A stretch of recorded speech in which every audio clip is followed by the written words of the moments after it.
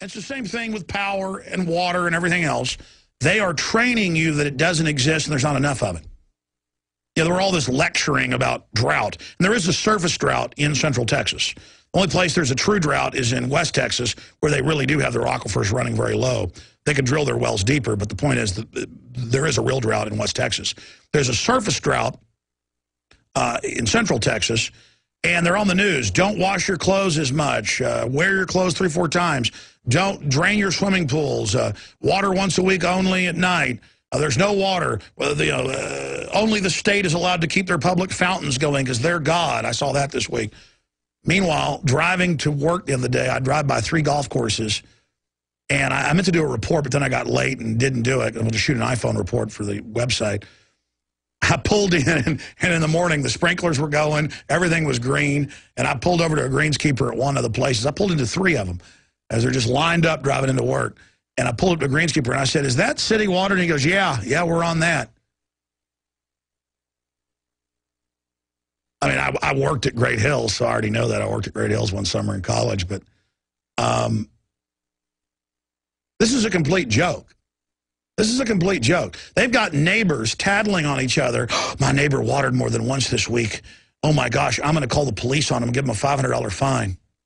When you could, if the government didn't block it, sink a well anywhere in central Texas, 500 feet or more, for maybe $10,000, $15,000, and hit water.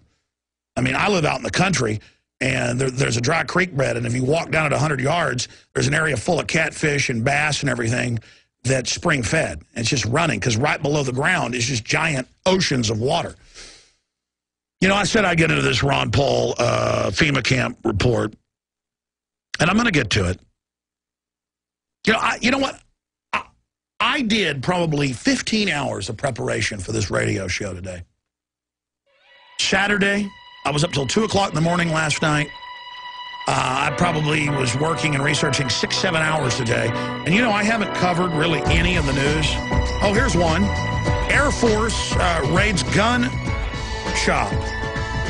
That's uh, News 8 CBS, Las Vegas. The U.S. Air Force led a raid against Las Vegas gun shop Friday. Oh, oh, we'll be right back with the martial law news. Stay with us.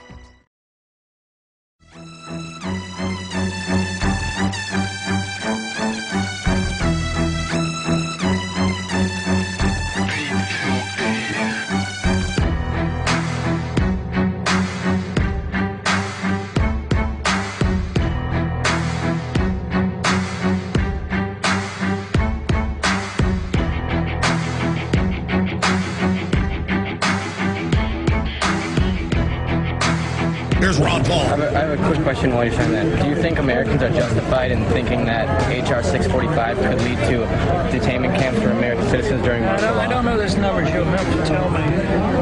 The emergency center establishment. Yeah, I know that's their goal. They are setting up the stage for violence in this country. No doubt about it.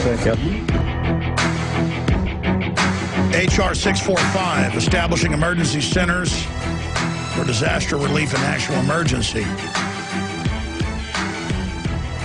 Ron Paul one more time. On HR. Setting up the stage for violence in this country. No doubt about it. Thank you.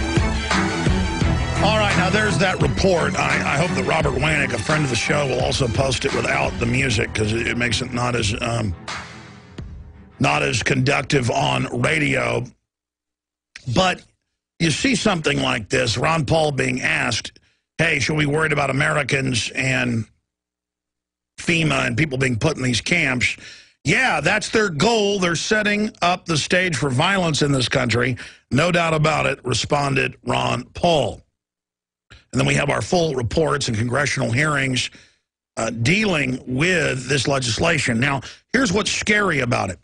When we got this bill uh, now a year and a half ago, and we read it, it was exactly what I'd seen at urban warfare drills with Army, Marines, FEMA and others. And I videotaped all this in the late 90s. Um, the Marines would come up with their machine guns and say, turn your camera off. It's all in my film, Police State 2000 and Police State 2 the Takeover. 1999, 2000, two films I put out. And we said then with economists, this isn't coming now. They're just preparing the military and, and getting everybody ready for it and having the military, also interviewed in those films and in future films like Road to Tyranny, military officers uh, who had raided gun shops going back even into the 1980s as part of secret programs. So there's a long-term secret program to get rid of posse comitatus. Now you see regular Army at the Kentucky Derby uh, or at the Super Bowl, or you see the Army running DWI checkpoints uh, in Los Angeles and other areas. Now it's just in your face. It's just, a, and, and Homeland Security admitted two years ago, we've got a deal for Brigade Homeland starting with 4,000 troops. It'll then be 378,000 troops. And now they've announced they've got 100,000 ready. Uh, they've got to have the 300 plus thousand ready by 2012. I mean, they are getting ready for this. And then if you talk about it, you get laughed at. Just like earlier in the year, I said, well, here's the different power commissions saying they can't open new power plants and the population's grown, so they're going to have rolling blackouts in cold weather and hot weather. We put an article together. And the White House attacks us and says we're crazy. And then today, it's all back in the news. Fort Worth Star-Telegram, Washington Post, Reuters, you name it, all saying exactly what I said six months ago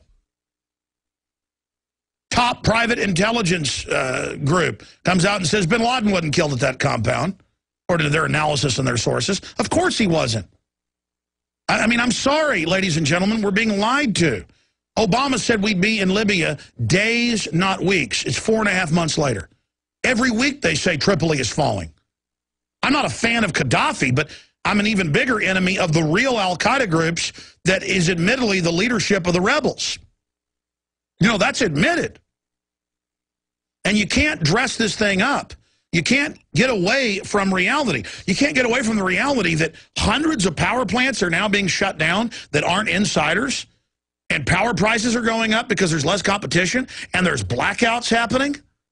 And the White House's response is, we're crazy, even when the Texas Commission says it's happening. Texas supplies the power to five states the dominant power supplier to five states, New Mexico, Louisiana, Arkansas, Oklahoma, Kansas. Have you noticed your power prices went up? The city of Austin came out last year and said, we're going to double power prices. Uh, what was it, 3.6 billion the next two years? We're, we're going with the carbon taxes. What is a carbon? Well, what does it do to charge people more, more money for power? Has nothing to do with it. China builds three power plants a week. We build less than three a year. This is the deindustrialization of this country. I'm digressing. Here's the headline. Ron Paul, they're setting the stage for violence in this country. There, meaning Homeland Security. We have the other reports on it. And we have our other report uh, dealing with it all. Let me just go ahead and play you a clip now the clergy response teams. We got these documents three years before local newscasts around the nation, this is out of New Orleans, aired pieces telling the public, yes, it's true, your preachers are being paid by the government and trained to tell you to go to camps and turn your guns in and take shots. We got these documents in 2005, man time's flown. Three years later, it comes out. People thought we had fake documents even though they had the phone numbers to FEMA on them. Okay, I mean, how creepy is that? They've got preachers, now over 100,000 nationwide, trained to spy on their flock and to tell them to submit to government. Here, uh, Okay, we're going to play the DeFazio first. This is a, a, congressman wanting to see the martial law plans and being told by Bush he can't see them under the presidential decision directive. And it's the same under Obama. See, we effectively have a dictatorship, not of the president himself. He's a blackmailed, kept, controlled teleprompter reader, no matter who it is, unless it's Ron Paul. They're all globalists paid for over and over again to get to this point. They've proven themselves political prostitutes. And you have to understand the office of the presidency now through its executive power. I mean, look at Obama launching wars without congressional approval. Obama putting carbon taxes in without congressional approval. Obama just legalized 300,000 deportees, saying, I, I don't need Congress to pass amnesty. I might deport felons. I feel that violates federal law, immigration law. See, that's a dictator. And, and it's, it's getting worse by the minute. And it's only expanded. Now, uh, we did pull up the clergy response team clip. Just go to YouTube and type this in. Uh, it, it's also on my film, Police State 4, The Rise of FEMA. Now, the very first word gets partially cut off. She says, will martial law ever be declared in America? The government versus the people. The government's biggest problem, us. I thought we're the government. Romans 13, we're the government. It's the government that's been taken over that's not obeying the law. It's the government that's criminal. You're not supposed to obey Hitler or Stalin. We'll be right back with more congressional reports. We're into the second hour. I want to open the phones up. I have played some of the clips I want to go over, but I want to break down exactly how they will roll out the implementation of the camps uh, coming up in the next segment, I want to play a clip from congressional hearings back in the 80s dealing with martial law concentration camp plans. The toll-free number to join us on the Sunday broadcast is 877-789-ALEX, 877-789-2539. Specifically, I'd like to get your take on uh, the prospects of paying roughly double uh, in the next few years for your electrical power. You're already paying more under the uh, unofficial carbon taxes. The carbon taxes are they shut down their competition and you pay the insiders more money. That's a direct tax, uh, a direct uh, insiders. I mean, why wouldn't big corporations come in if the people aren't aware and informed and they've got corrupt politicians that'll do whatever they're told? Wouldn't corporations come in and shut down their competition? Of course they would. Of course they would. I mean, that's a no-brainer. Do you have a view on that? Do you have a view on Ron Paul?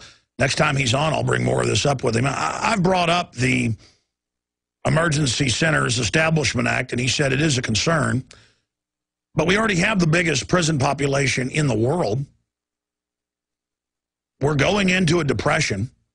Gold is at $1,880 an ounce right now. What do you expect what do you expect to happen? What do you think these tyrants would do? They've done exactly what tyrants throughout history have done over and over and over again. So again, I want to take your calls, but have your comment or your question ready because we can move to the next person. Uh, the toll-free number to join us is 877-789-ALEX or 877-789-2539. It's a different number than the weekday show because we're we're still on the Genesis Network on Sundays, but um, we're running the entire show out of our own office, uh, our own studios here on the Sunday two-hour transmission. Now, some of the other news that we'll get to after I finish up with the FEMA camp information and the fact that it's starting to come out in the mainstream news, first responders not welcomed at 911 ceremony. That's right, none of them are welcomed because they've been complaining about the deadly dust and what the government did to them, CNN reports. First responders decry exclusion from 911 ceremony. Only in globalist-controlled America with a K would you see that type of evil. Uh, also, uh, we've got um, the latest on Libya. We're going to be breaking down. And, of course, I mentioned this earlier, but I've, I've got to get more into it. Barack Obama cannot get Congress to pass amnesty for illegal immigrants. So now he's just going to ram it down our throats any way that he can. And uh, he's saying, I'm just going to legalize the deportees now. Mm, we might hold felons and deport them, but everybody else you go free. I'm going to launch wars. I'm going to shut down power plants. I'm going to have the ATF go after gun shops for laws that don't exist. I'm going to have the Air Force raid gun shops in Las Vegas. That's CBS News, Las Vegas. I mean, See, that's the thing. We've gone over the slippery slide. We were starting to go over it, and you know, Bush five years ago would say, hey, I promise I'm not spying on you without warrants. I promise. Then it came out he was. And so now they just go, yeah, we're spying on you.